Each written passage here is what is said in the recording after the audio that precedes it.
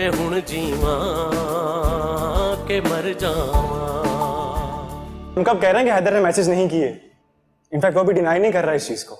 उसने बात की है मैम से और मैम ने उसे माफ़ भी कर दिया। फिर तुम्हें क्यों एतराज़ है? एतराज़ बनता है क्योंकि बात खुलकर सामने आ चुकी है कि हैदर ने ही मिसेज अंजुम को वीडियोस भेजी हैं। लेकिन जिस वक्त अमल और प्रोफेसर मायूं का केस हुआ तुम लोग प्रोटेस्ट कर रहे थे। और वो बेचारे स्टूडेंट्स जिनको इस बात से लाइन रखा गया। इस बात से ये साबित नहीं होता कि प्रोफेसर हुमायूं बेगुनाह है। बिल्कुल नहीं होता। लेकिन इससे यह शक ज़रूर पैदा होता है कि हैदर ने अपने खिलाफ होने वाले एक्शन को रोकने के लिए अमल का इस्तेमाल किया ताकि प्रोफेसर मायूं पर प्रेशर डाला जा सके। अच्छा ऐसे तो ये शक भी बनता है कि प्रोफेसर ने जानबूझ कर एक्शन नहीं लिया ताकि वो अमल को ब्लैकमेल कर सके। बिल्कुल बनता है लेकिन लेकिन क्या? बोलो।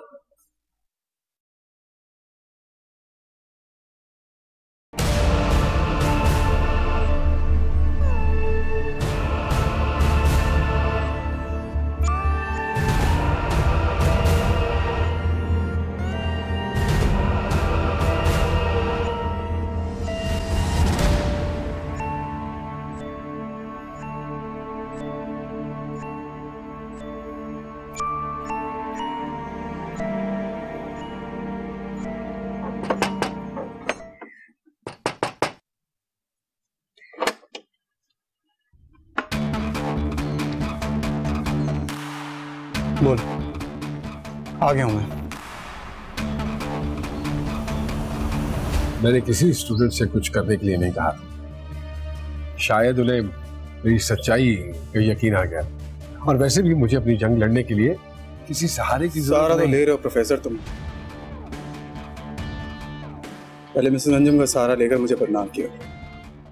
अभी रवि जैसे बच्चों का साथ ले दो। जितनी कोशिश करनी है कर लो। मैं नहीं छोड़ूँगा तुझे।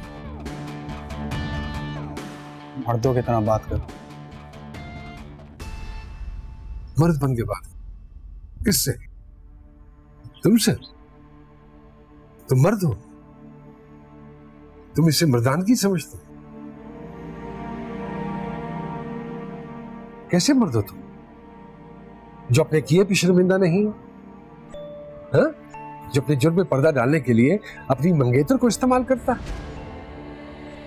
तुमने उसे मेरे कमरे में भेजा था। सौदेबाजी करने के लिए तुम इसे मर्दानगी कहते हो। दिखाओ मर्दानगी तुझे?